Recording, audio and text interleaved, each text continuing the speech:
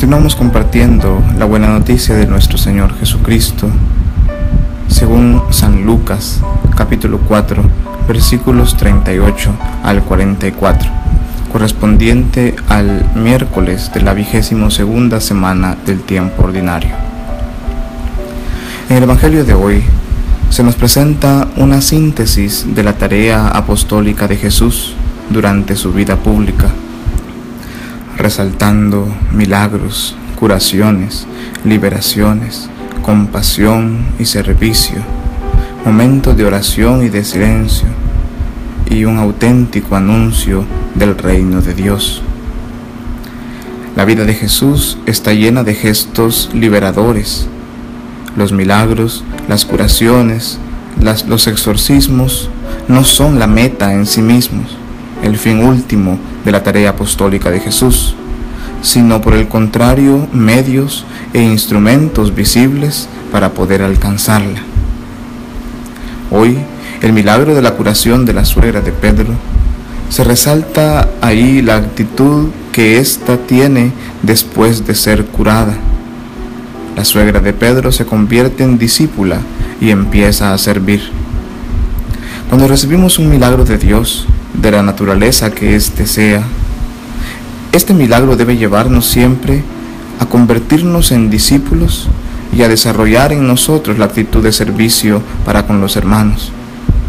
De otro modo, el milagro se convierte en un paréntesis en la vida que luego con el paso del tiempo queda en el olvido y que no llega al cumplimiento pleno de la voluntad de Dios para con nosotros. Todo el actuar de Jesús todos sus gestos, todos sus signos hacia las personas tienen un sentido y fin último, que es anunciar el reino de Dios. Es con ese único fin que Jesús realiza y sigue realizando hoy todos los milagros y curaciones en la humanidad. Los gestos de Jesús están cargados de compasión para con sus hermanos. Cura a la suegra de Pedro y a los enfermos y endemoniados que le llevan, así como a los que hoy le pedimos con fe para mostrarnos el rostro compasivo y misericordioso del Padre. Y así como Dios es compasivo y misericordioso con nosotros, así nos invita también a hacerlo con los demás. Esto lo entendió muy bien la suegra de Pedro al ponerse al servicio y convertirse en discípula. Otro gesto importante del Evangelio es la oración. La actitud de Jesús de apartarse a un lugar solitario hablar con su Padre que está en lo secreto. Jesús nos indica la importancia de una buena relación de confianza y de fe con nuestro Padre Dios, sin la cual no podríamos anunciar su buena noticia de salvación para todos. Si no creemos, no anunciamos. Y si no anunciamos, no creemos.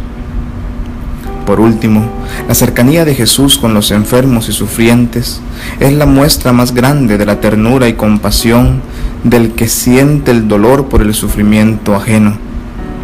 Jesús no se queda orando solo por sí mismo. Jesús siente y nos invita a sentir el dolor por el sufrimiento del prójimo. No se puede anunciar la llegada del reino de Dios si no se tienen los ojos abiertos, el corazón dispuesto y las manos presurosas para atender a las necesidades de los hermanos. Hoy Jesús nos invita a ponernos en marcha, a anunciar la buena noticia de Dios para la humanidad y hacerlo como auténticos discípulos de Cristo, en compasión, con ternura, con oración y fe y con cercanía y caridad para los hermanos. Paz y bien.